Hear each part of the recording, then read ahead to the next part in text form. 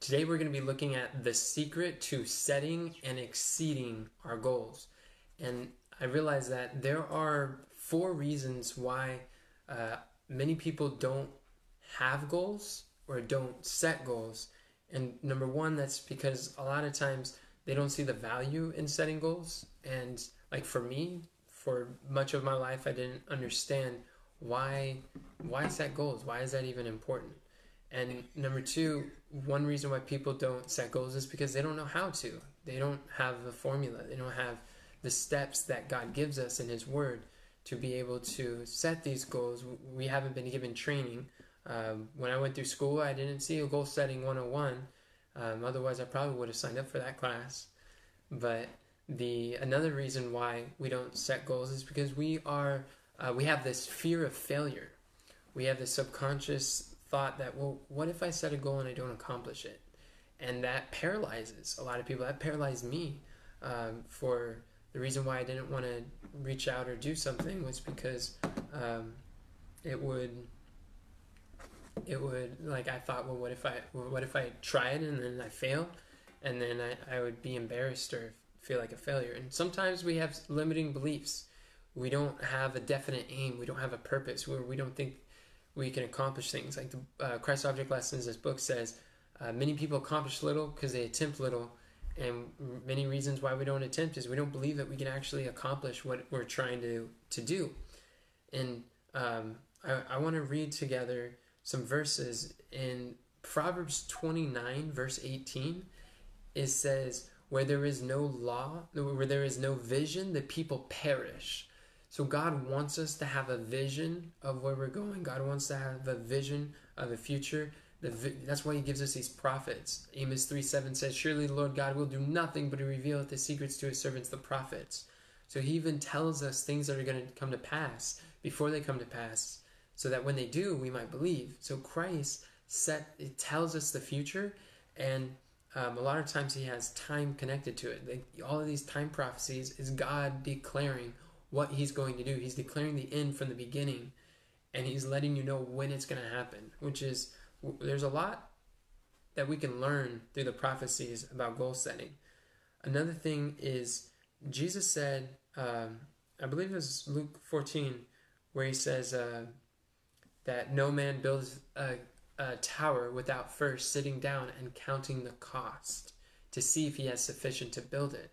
So there is a level of planning that is involved that needs to be done in order to to set out and accomplish something. The Lord wants us to have a definite aim. He has given us a great commission, and we should plan for its advancement.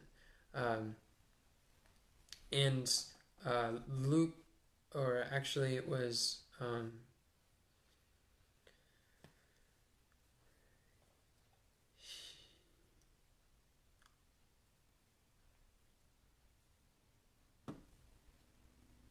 sorry.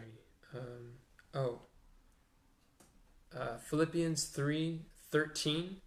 It says, Brethren, I count myself I count not myself to have apprehended, but this one thing I do, forgetting those things which are behind, and reaching forth unto those things which are before, I press towards the mark for the prize of, of the high calling of God in Christ Jesus.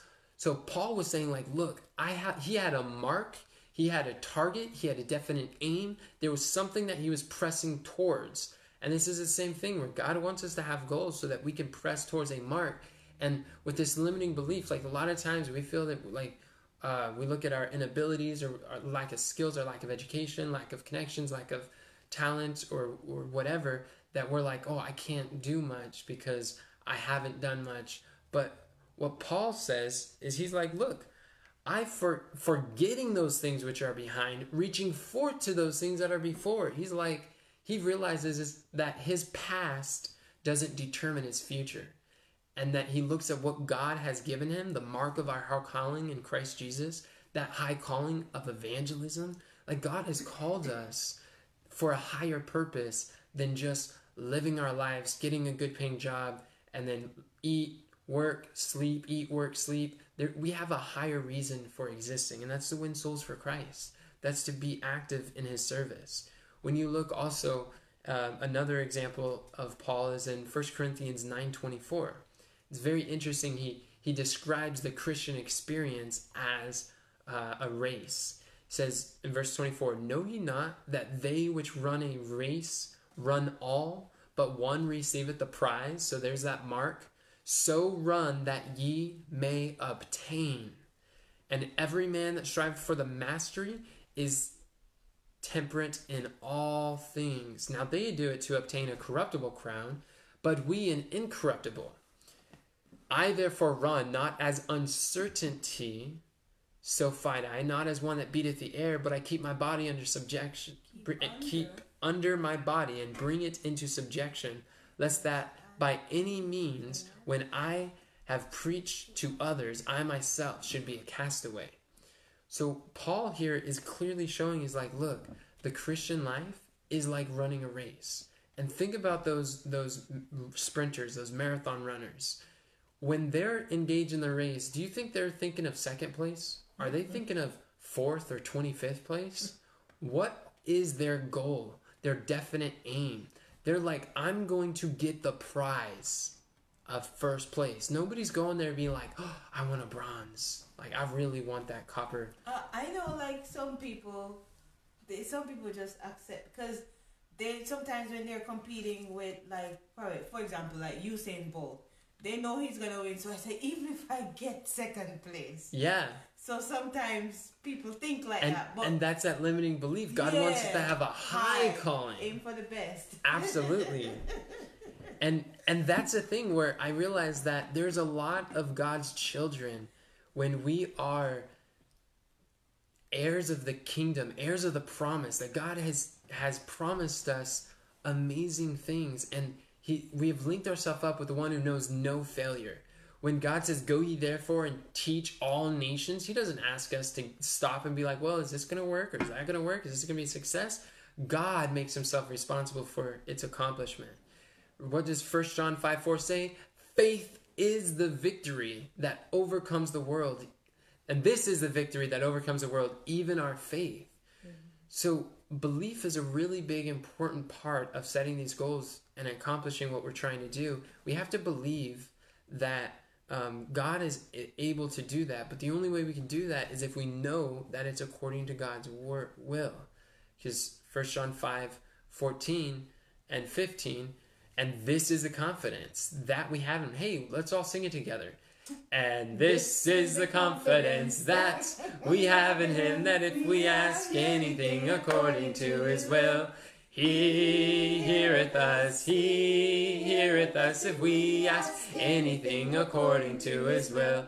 And if we know that He hears us, whatsoever we ask, we know that we have the petition that we desire of Him.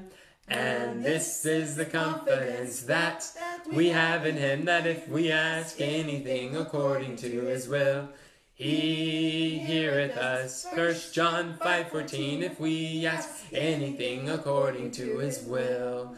So this is a powerful promise that we can have a confidence, not an uncertainty, not a vagueness, but a confidence that that God hears us when we ask according to his will and his will is his word. It's mapped out. If God has promised something like um, if God has promised us something then we know that we have confidence that he will give us the strength to accomplish it. So there are seven areas of life that we should um, do well to have goals in. And um, and like like for instance we should have goals for our family we should see what what kind of family does god say that he wants to restore on earth? What are some character goals that we have? Who does god want me to become? Who does god what thoughts and feelings should i develop in order to what habits should i form? Like what character goals should we should, we should set out um, the, these goals that we have? Or um, or spiritual goals. Like what are some things that we need to understand some things that we need to study some some sins to overcome or some um, some like verses or chapters to memorize? What are some spiritual goals we can have? What are some goals that we can have with financial goals or things with business? Because uh, romans says that that we that the Christian should not be not slothful in business, fervent in spirit, serving the Lord. So religion and business are not two separate things; they're one. And uh, we should have goals for social goals. What like our our um, interactions with each other. It's through the social relations that the gospel is given to the world. Luke 2:52 says and Jesus increased in wisdom and stature and in favor with God and man. That's that is um, the, you see these ways that he's increases in wisdom. That's mental. So we should have education goals. What are we going to learn? What what are what are we going to develop? Having goals in these seven areas of our life, uh, wisdom and stature. So that's physical. So what are some of the health goals that we have? What are the laws of health that we want to improve in? What are the um, like how do we want our our body to be what our health to be what kind of exercise do we want to do or drinking water whatever these goals may be we should have physical goals increase in wisdom and stature and in favor with god so that's spiritual we covered that and man that's social so all of these different we, we should have we should set goals in these seven areas of life and um, a, a very good principle is that fuzzy targets don't get hit. Press towards the mark. On your marks, get set. Right, um, like aim, fire. Um, where setting a goal is kind of like setting a target. Where uh, or like hitting a target is that if you don't identify exactly where you want to be or exactly what you want to accomplish or what God's plan is for your life in these areas, you know that beloved i wish above all things that thou mayest prosper and be in health even as thy soul prosper if there's some unhealthy habit you're trying to overcome you don't have to question like oh does god want me to overcome this well if it's destroying your health then god wants you to overcome you can have a confidence that all his bidding all his biddings are enablings every command implies or contains a promise and that when man links his will when the will of man links with the will of God, our will becomes omnipotent. He gives us all power in heaven and earth to accomplish the thing that He has called us to do. And so when we have these these goals, one thing that I re- realized that was life changing for me, like this was a game changer. I really want you to understand this. Is not just having these like high and lofty, like yes, we need to press towards a mark of a high calling, but a lot of times when we look at these um, the the high calling, we get overwhelmed when we see how um, how much we need to do. And so it's good to have these stepping stone goals. Think about hitting a target. Let's say you have a bow and arrow, and your goal is to shoot a target at 100 feet away, and you've never done a bow and arrow before. Well, you're not going to start off with 100 feet. You're going to start at 10 feet. See if you can hit the target with that. And once you do, throw it out to 20 feet. You hit the target with that, then maybe 30, 40, 60, 70, and then eventually work your way to 100. These are called stepping stone goals. When you do that, then it, it allows your goal to be broken down into smaller chunks and it makes a tremendous impact on our life. Um, and so, like Proverbs 4:18 says, "The path of the just is as a shining light that shineth more and more to the perfect day." So I just encourage you that what you, what you should do in life is just pray to God and write down what are these seven areas of life and see and just set some goals. Just see what does God want you to be in these areas. And in some future videos, we're going to be showing exactly how to set these goals. How what is the formula, the the method in God's word to show to take it from a an idea or a dream to fruition to actually a reality in our life because God wants us to go from one glorious victory to another. And He has, in His Word, plans to do that. So I, I encourage you, um, if you know someone who could benefit from this, click share. Share the video with your friends. And because I'm, I'm sure that someone else has a goal or should be encouraged to set goals who could learn as a result of you you sharing and comment below let us know what is what is a major goal in your life that you want to accomplish in one of these seven areas? And um, I, I really look forward to seeing your comments. I read every single one of them. Thank you very much for your time and for watching. Um, we look forward to seeing you again.